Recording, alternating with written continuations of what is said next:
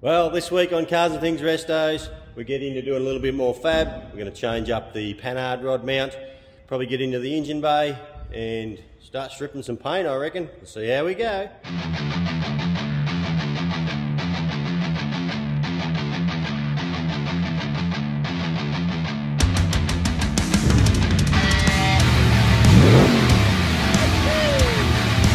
Good morning guys, we're here at the uh, Holden Bottle Walk.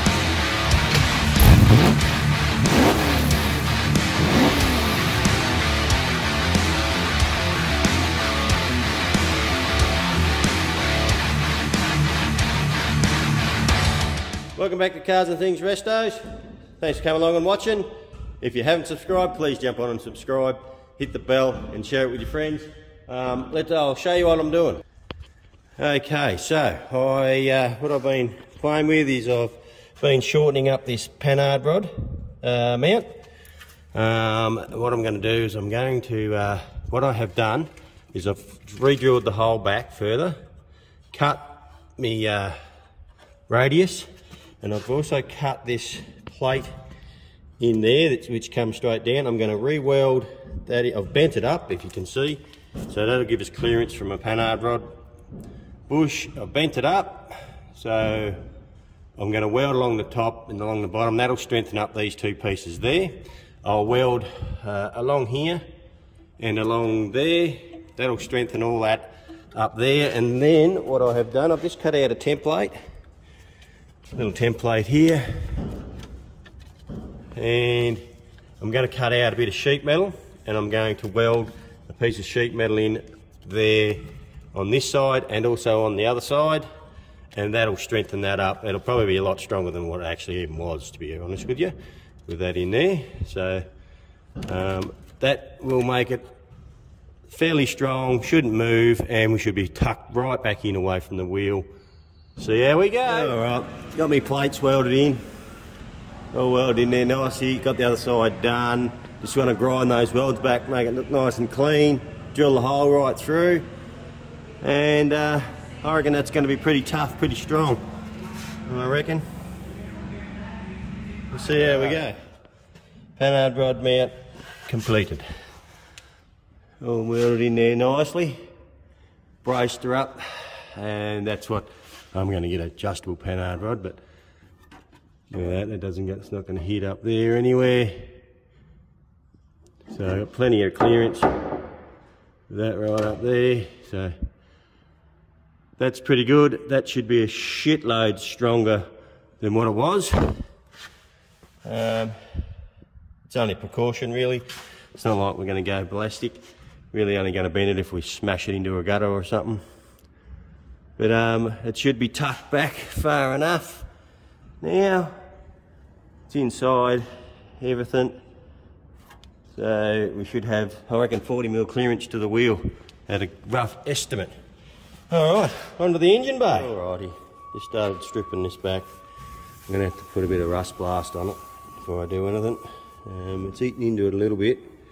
Might try and grind it with the flapper disc. I'll rust blast it then we might put some KBS on it um, to kill any rust. It's, it's uh, surface rust, not rusting right through or anything like that, but let's kill it all.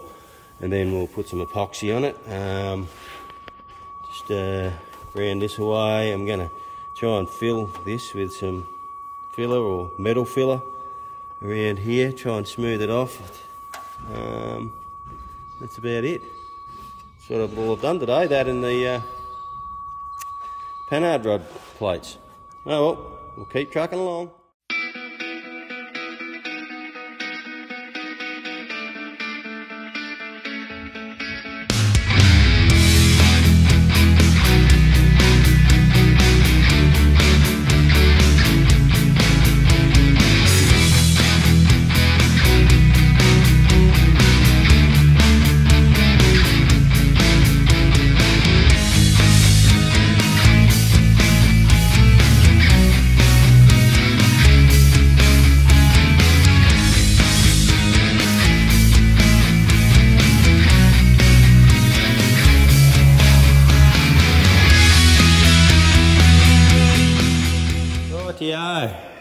Got uh, our patches welded in. I've got to grind them all back now and I've uh, welded all of the holes up in the, everywhere. So I'm going to grind them all back flat and try and shape that nicely. Got that one welded in there.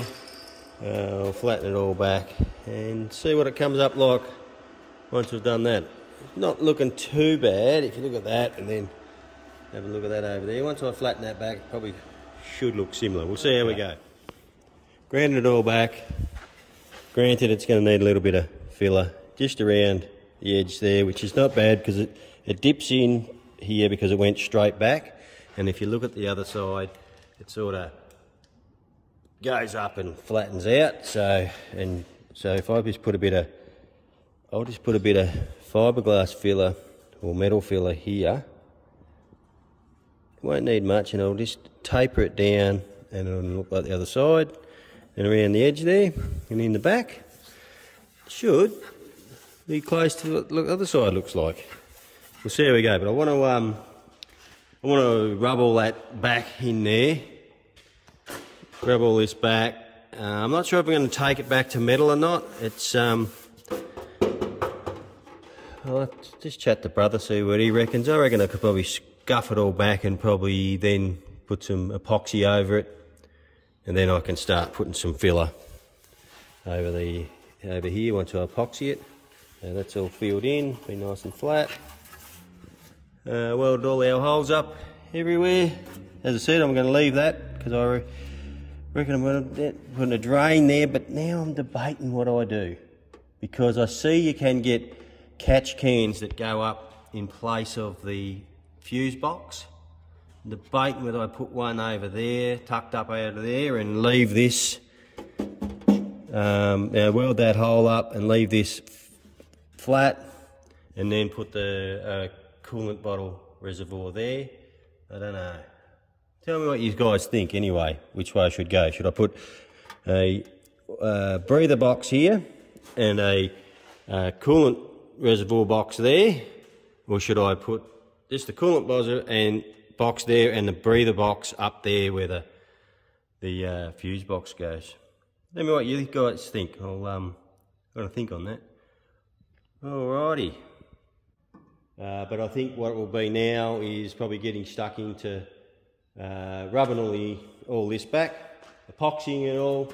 Oh, that's right. I want to weld these holes up as well because uh, that, that hole there is um, where the wiring loom goes through for the wipers. Um, my, I'm thinking what I might do is um, weld all that up and bring the wiper um, wiring up from under here somewhere, run it along the inside. Um, but I'll see see what I, what I do there. So I might do that. But yeah, so next job is probably scuffing all this back, or if brother wants me to take it back to metal, I'll um, I'll probably sandblast it all back to metal. Get it all looking nice and sweet. Give it an epoxy, and then I can start putting some filler in places. Because uh, I want this front to be nice and no ripples or bumps nice. Because when you open the bonnet, that's what you see. That you see that, see that, and that. You don't see much of this down here. You can see it, but it's pretty hard. But when you look in there, you want it to look nice and clean. So um, I didn't weld that up. Well, because your your original coolant overflow bottle goes there, and I won't be having that, so I'll need to weld that up too. That's all right. I'll get into it. All right, it's going along pretty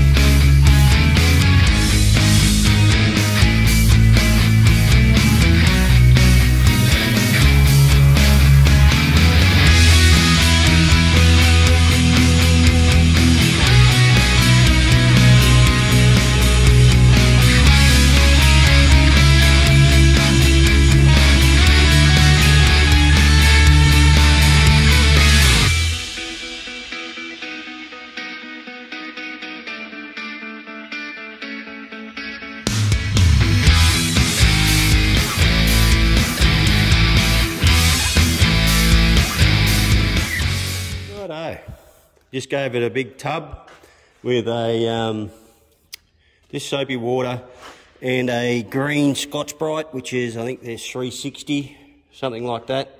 They're pretty coarse. So really wanted to get in and key it with that. And then I went over it with the Rust Blast. Uh, there she is there. So I'm just letting the Rust bar Blast eat into all that surface rust that's on there. Um, etch into it. It'll probably turn it dark brown to black and etch into it. And then I'll give it a good clean off, uh, give it a scratch up with some, uh, probably some 240 or something like that. Go over it, give it a rub, and then I'm gonna, I've got to weld them holes up as I said. I've got to weld those holes up, um, and then I'm gonna epoxy it. So uh, I'll get it all in epoxy, and then I can start uh, filling all the, the little crevices in that I've missed. There's a couple I need to knock out. Um, I'll get. I've made a new um, a new slapper tool. We've got we bought a slapper tool, but it's a little bit light. So I've made one out of um, an old spring off a HQ, and that is heavy. That is real heavy. So so that that's um, what I'm going to slap it down with and try and get it dead flat. Um, I did notice there's a little crease in the in the corner just there. I'm going to see if I can fix that, make it nice and smooth as we go around there. Uh, and I've got to try and get rid of this shit around here. So let's get some sandpaper on a roll and see if I can get rid of that. And um, yeah, see, I need to get in there and sand, see all the runs in the uh, paint from the original paint. I've got to rub all that out, otherwise it'll come through in the paint when I go to paint it. So and I don't want that. So uh, there we are. Still debating whether I'm going to keep air conditioning in it. Don't know yet. Um, not sure. Uh, when I was at Summernats, not many, well, people might have had air conditioning on, but they're all driving around with the windows down, so. Uh, it wasn't that hot though this year, I've got to say. Um, anyway, I'll keep trucking along. That might do it for this episode. Um, we'll see how I go, um, whether I get any more done tomorrow. So, uh, okay, if you haven't subscribed, please jump on and subscribe. Hit the bell, share it with your friends. We appreciate you coming along and watching. Uh, appreciate the comments we're getting. Thank you very much um, on everybody's comments because they've all been positive. Um, and uh, all right, that'll do. We'll see you next time. Cheers.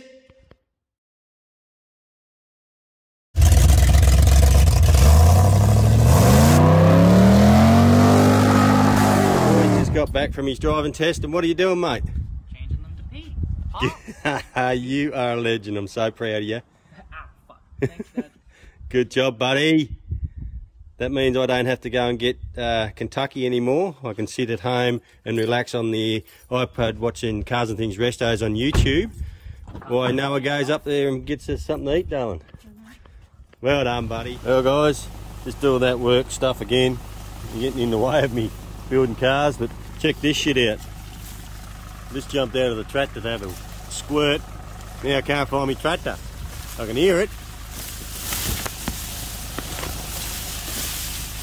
Jesus Christ.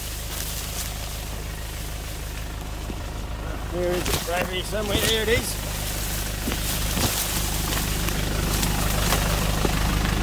There she is. oh, keep going. Look at the size of this crap, would you? Oh, good. A good day's work. Right, guys, here I am, battling away through this fucking jungle. Trying not to knock a sprinkler over. Look at the size of it. So, of are probably wondering what it is. Okay, what it is, is it's uh, a plant product called sorghum. Uh, they use it for um, stock feed and stuff like that. Um, whoa, shit. And there's the drama I have going through this patch. And trying not to not. Oh, got the sprinkler. Just back it up a bit here. Going through this patch, trying not to knock bloody the sprinklers over because it grows so tall. We planted this just before Christmas and um, uh, you see how well it's grown. what are we? What are we just into February now? So uh, what we do with it is um, we roll it down, as I'm doing now, and uh, turn it into mulch. And um, it covers the ground. We plant through it. We plant our peas through it, and uh, it eventually breaks down and goes into the soil, and uh, uh, it feeds all our microbiology into the soil, which uh, helps our. Whoa, where the hell is this one? There it is. Uh, helps our uh, peas grow. So virtually we're putting carbon back into the soil instead of taking it out. Well, we take it out as well through the plants as we grow it, but we've, you've got to put it back in. Um, so it also uh, helps with uh, watering costs and stuff like that because it's the, the the soil stays damp underneath it and uh, helps helps with that. Uh, also weed control. So that's what uh, this stuff does for us. Thought I'd just uh, let you guys know that I do have a real job. This is what it is. I'm a farmer, so with brother. I am a qualified automotive technician, but um, now, nowadays I'm out on the farm with brother and uh, we do this sort of stuff. So when I'm not playing in the shed with cars, I'm out doing this uh, and I enjoy it. It's great. Um, we do quite well, enough so we can build cars and show you guys. All right, there you go. There's a little snapshot of my day job. See you in a bit.